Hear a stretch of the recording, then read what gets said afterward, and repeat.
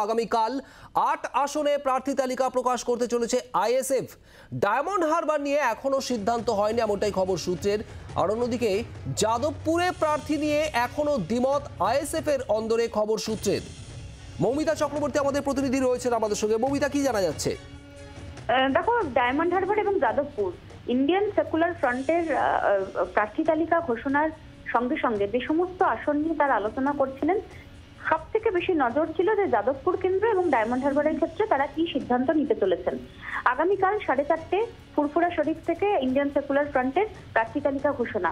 যেটা সূত্র মারফত আমরা জানতে পারছি যে আজকেও সিপিআইএম নেতৃত্বের সঙ্গে কথা হয়েছে, কিন্তু এখনও পর্যন্ত জটিলতা, সেই জটিলতার জায়গাতেই রয়েছে, জটিলতা কাটেনি। যাদবপুরে প্রার্থী দেওয়া নিয়ে এখনও দ্বিমত রয়েছে ইন্ডিয়ান সেকুলার ফ্রন্টের।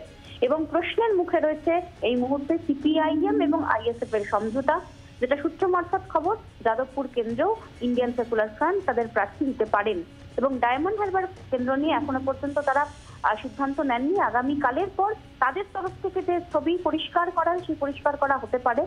প্রথম দফার প্রার্থী তালিকা আগামী কালই সাড়ে চারটের সময় তারা ঘোষণা করবেন।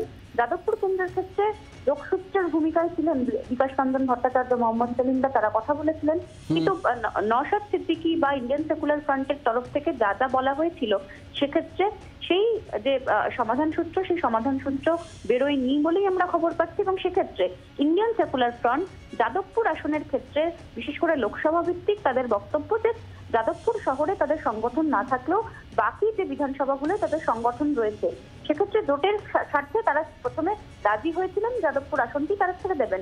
কিন্তু অন্যান্য ক্ষেত্রে যে সমস্ত শর্ত আলিমুদ্দিনের তরফ থেকে আসতে শুরু করে সেই শর্ত মানা তাদের পক্ষে সম্ভব নয়। তাই আইএসএফ এর তরফ থেকে যাদবপুর আসনটিতেও প্রার্থী দেওয়ার চিন্তা ভাবনা শুরু হয়েছে এবং আগামীকালই যাদবপুর আসনের ক্ষেত্রেও ইন্ডিয়ান সেকুলার ফ্রন্ট কিন্তু প্রার্থী দিতে চলেছেন বলেই আমরা খবর পাচ্ছি, এমনটাই সম্ভাবনা রয়েছে।